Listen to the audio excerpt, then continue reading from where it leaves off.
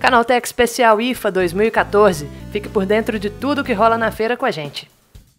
A Microsoft não veio para a IFA 2014 com um stand próprio, mas no espaço da operadora Vodafone conseguimos dar uma olhada no novo modelo Lumia 830.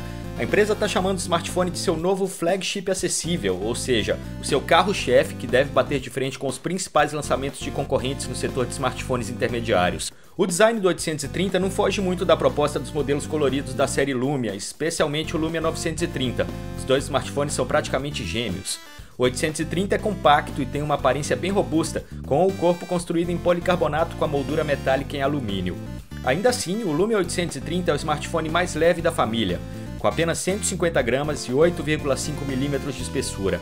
A diferença é sensível em relação a outros dispositivos Lumia e garante um encaixe confortável na mão.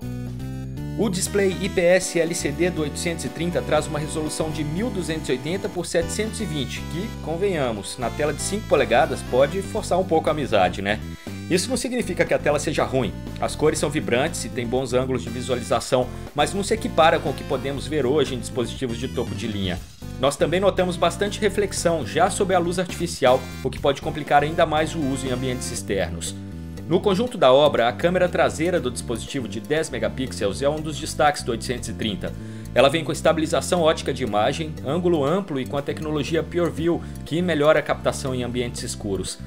As imagens clicadas têm boa fidelidade de cores e o aplicativo da câmera é bem ligeiro. Por dentro, o 830 carrega o processador intermediário quad-core Snapdragon 400 de 1,2 GHz da Qualcomm, além de 1 GB de memória RAM e 16 GB de armazenamento interno, expansíveis com cartão microSD. Isso tudo garante ao aparelho uma resposta ágil e fluida, sem nenhum tipo de lag aparente, mesmo quando circulamos por diferentes aplicativos de uma só vez. Passamos pouco tempo com o gadget e ainda não podemos afirmar com certeza, mas a bateria tímida de 2.200 mAh pode complicar um pouco a vida do usuário se considerarmos o tamanho do display.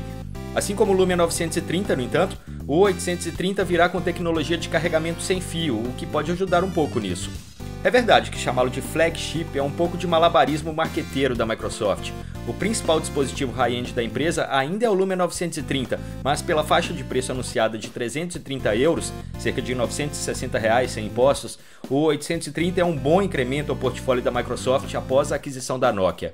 É cedo para saber, mas o dispositivo pode render um bom volume de vendas para a companhia, principalmente em mercados emergentes, onde a demanda por smartphones intermediários avança bastante. Se gostou, curta aqui embaixo e assine nosso canal do YouTube. Todos os dias tem vídeo novo para você.